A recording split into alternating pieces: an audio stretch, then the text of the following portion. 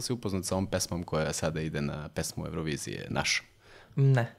Teodora i Lila Ramonda se zove pesma. To je pesma koja referiše, ima taj Dobro. neki patriotski donekle naboj, Dobro. koji referiše na, na Ramondu Natalius. To je interesantno, može da se poveže i sa dinastijom Obrenović, zato što im je dobila po kraljici Nataliji, ženi kralja Milana oca Aleksandra Karađorđevića. To je cvet koji raste na ovim prostorima, odnosno posebna vrsta ramonde koja se može naći samo na ovim prostorima e, i koja je postala simbol e, dana primirja, ovog novog praznika koji mi u novembru obeležavamo u Prvom svetskom ratu.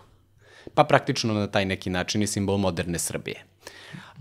Vrlo zanimljivo, nisam to. Interesantno je što su dve pesme sad na pesmi Eurovizije bile favorit e, za, za, za tu obe sa tim nekim, ajde da tako kažemo, patriotskim nabojem, takozvanim. Jedna je pesma Breskvičina Gnezdo Orlovo, gde se na jedan zaobilazni način, ali vrlo jasno m, aludira na kosovski mit. Na, na, dakle, m, u pesmi se nigde ne pominje Kosovo, ali sve reči se malte ne rimuju sa Kosovo, tako da je, da je vrlo, vrlo jasno o čemu se tu radi. Druga pesma je ova i meni se čini da je... Mm, pesma koja je otišla tamo, uh, m, otišla iz razloga što je uh, potpuno uh, i mnogo više prilagođena celom kontekstu, budući da, da. je to pesma Evrovizije gde imamo neku vrstu uh, patriotskog uh, slavljenja određenih simbola, ali uh, na onaj način uh, i slavljenje onih perioda kada smo mi bili u uh, nekoj vrsti saradnje i u uh,